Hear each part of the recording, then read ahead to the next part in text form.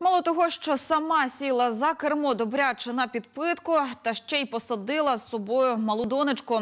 Так вчинила мешканка міста Молочанськ.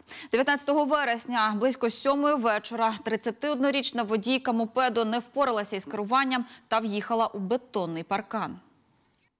За даними медичного обстеження, у крові жінки-водія виявлено 2,2 проміли алкоголю. В результаті аварії жінка та її малолітня донька 2013 року народження з травмами е, різного ступеню тяжкості госпіталізовані до лікарні.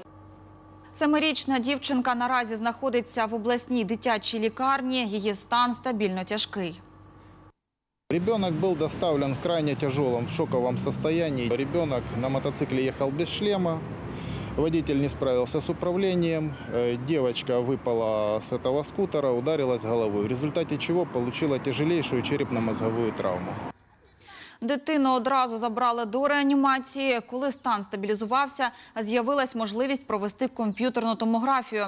Дослідження показало, що дівчині необхідна операція. Бригадой нейрохирургов выполнена сложнейшая нейрохирургическая операция. На данный момент ребенок продолжает лечение в отделении интенсивной терапии.